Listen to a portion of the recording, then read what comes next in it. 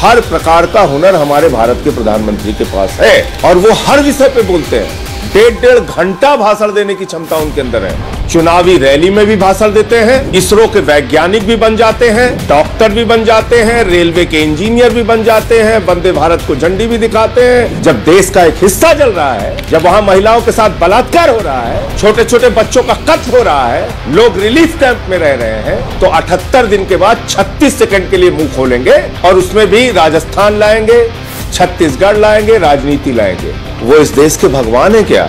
उनको इस देश के लोगों ने चुनकर भारत का प्रधानमंत्री बनाया है। क्या इस बात को पूरा देश देख नहीं रहा है?